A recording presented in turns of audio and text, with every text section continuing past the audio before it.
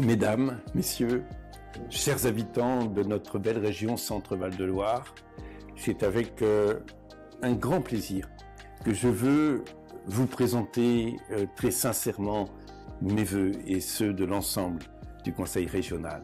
Ce sont des vœux bien évidemment de santé, on en connaît le prix dans cette période. Ce sont des vœux de bonheur pour vous, pour vos proches. Ce sont des vœux de réussite dans toutes les ambitions, dans tous les projets que vous portez. On sait euh, les nuages sombres qui euh, pèsent sur la planète avec le réchauffement climatique. On sait euh, l'inquiétude par rapport euh, à notre réalité, la précarité, l'inflation, l'augmentation du coût de l'énergie. On sait tout cela. Faudrait-il pour autant rentrer en satanière Pas du tout. Il faut aborder cela solidairement d'abord, et ce sera une des priorités de la région la solidarité avec les habitants, la solidarité avec les associations, la solidarité avec les entreprises pour l'emploi, la solidarité avec les territoires. Je donne qu'un exemple, nous allons dans le courant de l'année 2023 mettre en place cette gratuité pour tous les jeunes de 16 à 25 ans dans les transports Rémi et ce sera euh, pour le week-end à partir de, de septembre.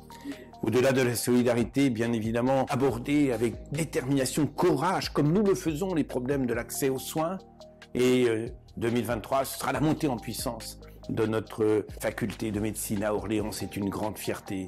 Ce sera pour cette année dans tous les domaines faire en sorte qu'avec les énergies renouvelables, avec une approche de performance énergétique des bâtiments, nous puissions tracer un, avenir avec la création, notamment en 2023, de l'Agence régionale énergie climat. Et puis, et puis le soutien à nos entreprises. Je le disais, nous avons un schéma, un nouveau schéma de développement des entreprises Horizon 2030.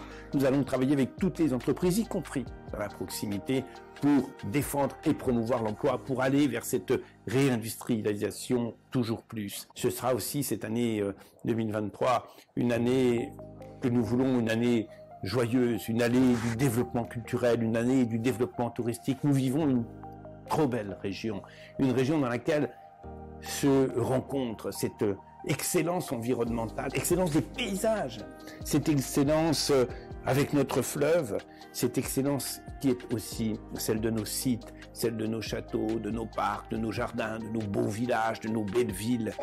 Nous voulons que tout cela forme un projet toujours plus attractif et cette année 2023. Ce sera une année de grand développement culturel et touristique avec euh, Région Centre, terre de création. Nous allons y accueillir euh, dans nos euh, euh, résidence d'artistes. Je pense euh, bien évidemment euh, à ce qui existe autour de Calder, autour de Max Ernst, autour aussi de nos maisons d'écrivains. Une année d'énergie, une année où nous sommes solidaires pour affronter les défis et une année dans laquelle nous voulons que ces défis environnementaux, que ces défis technologiques, que ces défis du numérique, que ces défis de l'aménagement équilibré du territoire, que ces défis de la santé soient autant de leviers pour créer ensemble un monde meilleur, pour créer ensemble une région où nous aimons tant partager ce que nous y faisons. Merci de votre attention et très bonne année 2023.